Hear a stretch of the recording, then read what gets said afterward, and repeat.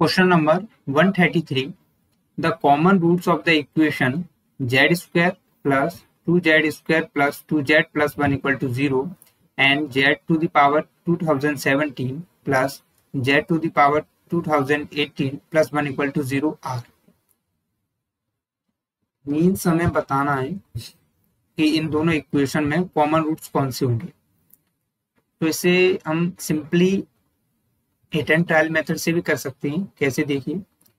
जो ऑप्शन में अपने पास जो रूट्स गिवन है, वो है one comma minus comma minus one comma omega comma omega square देखो यही तो फोर रूट्स गिवन है, ठीक है? सो अगर हम वन को देखें तो यहाँ पे ये देखिए ये वाली जो इक्वेशन है, ये वन को सेटिस्फाई नहीं कर रही है, ठीक है? तो ये तो कॉमन रूट्स हो ही नहीं सकते दोनों में।